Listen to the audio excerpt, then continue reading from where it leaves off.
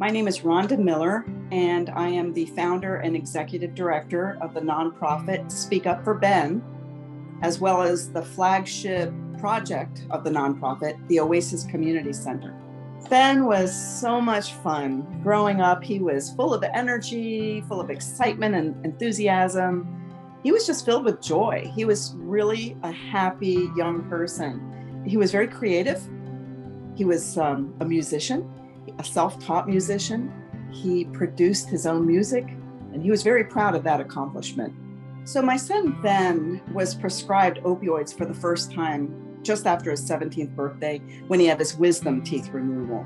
And very tragically, we lost him at the age of 23, four and a half years ago, to fentanyl poisoning.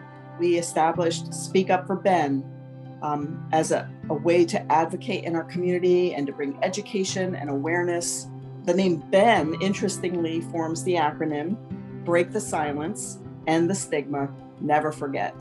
I think it's really important for people who don't have experience with opioid addiction to understand that this is a situation that happens to good families.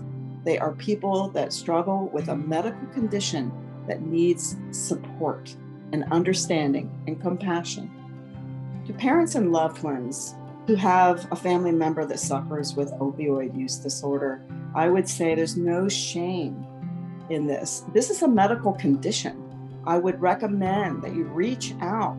Don't be ashamed. Don't hide in darkness. Reach out, come forward, get help. There's many support groups and there's many programs that are available today in our communities across Pennsylvania.